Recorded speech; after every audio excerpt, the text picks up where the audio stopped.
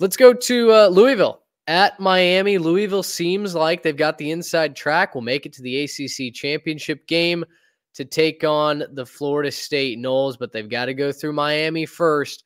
Louisville's on the road. They're a one point favorite. This is an 11 a.m. kick on ABC. Miami has to go back to Tyler Van Dyke after Emory Williams uh, injured his throwing, or I think it was his throwing hand, throwing arm, I should say, last week, diving for the pylon. Um, just a nasty, nasty injury. Feel bad for the true freshman and just his second ever start. But guys, Tyler Van Dyke just one of y'all said it before we hit record. It's like he doesn't even want to play football anymore. And to me, you have a quarterback who's not confident, who doesn't really look like he wants to be there. I'm struggling to understand why this line is so low despite the flaws that Louisville has. Yeah.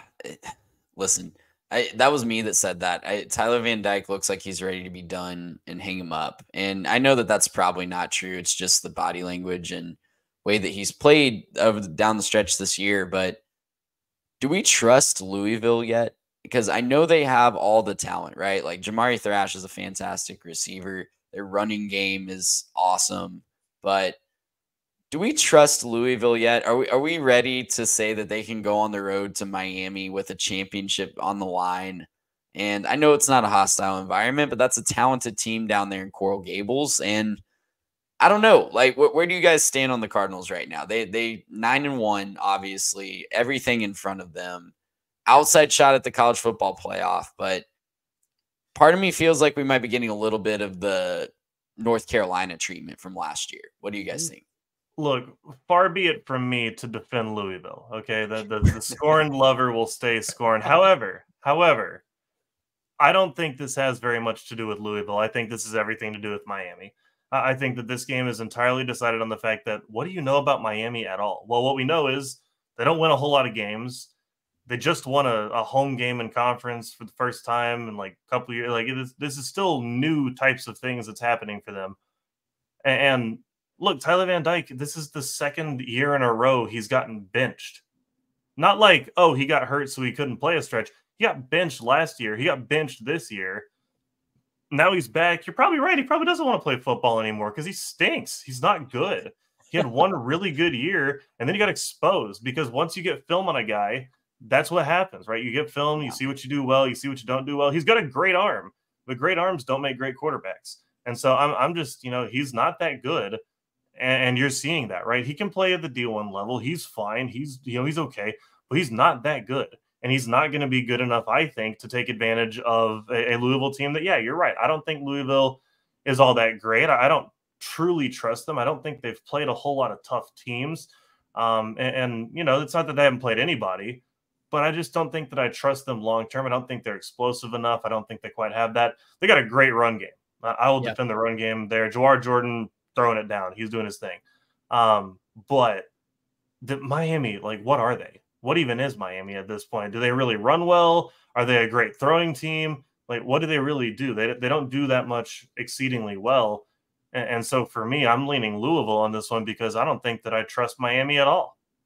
I, I agree. You you look on both sides of the ball and it's like, man, you're you're just kind of average. Like you're you're not known for any any one thing. And so I'm missing Miami's identity. I, I don't know what they lean on when they get punched in the mouth. And, and so, guys, that got me thinking, you know, Miami's out of it, right? they they've got nothing really to play for this season other than spoiling the season of somebody else.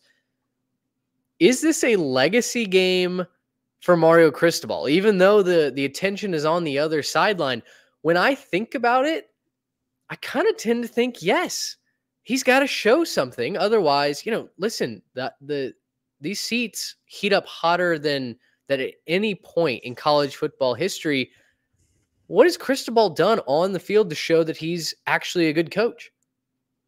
I mean, eh, I mean, he was a great O line coach for the Crimson Tide a while back, right? But yeah, I mean, it, it is. It's put up or shut up time very, very soon for Miami. If not now, then very, very early next year as yeah. we expand the playoff. And I think a lot of programs are going to be looking around saying, okay, if we can't make a 12 team playoff, what are we doing here? Now, Miami is certainly a program of that caliber that Mhm. would be asking that question. So, yeah, winning this game would go a long way. Obviously, you don't make decisions based on one win or one loss, but winning this game would go a long way for Cristobal, winning the fan base back. It would set them up for potential for eight wins, which would be a huge step forward. Increasing by three in one off season is huge, but th- they're going to be up against it, right? Like, I, I just don't know that I, yeah, I, for all that I said about not trusting Louisville, I definitely trust Miami less in this one too. So it, everything's up against the Hurricanes. It's a big opportunity, but they've shown time and time again that they can't rise to that opportunity. Well, and it's not Miami; it's Cristobal. Uh, That's the problem. Miami could be good. They could be a really good team. They've got everything in front of you that you would want. They've got big money. They've got you know a, a great fan base. They're in a good location. They could be great, right? This this isn't a team that really has that much excuse. But eh, guys, if you travel all the way back to episode one of this podcast, the first thing we did was our, our best coaching hires of last offseason. Yeah. I left Cristobal off my list.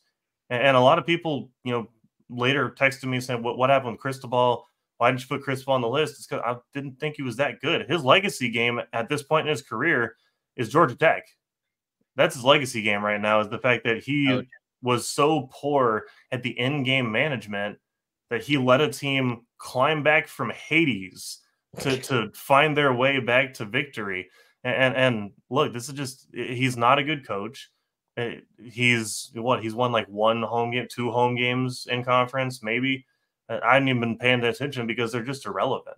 Right? They're just they're not that good of a program under Cristobal, and it, I don't think that he's going to have success there. So, look, it, we can say whatever we want to about Louisville. I think they're you know they're fine.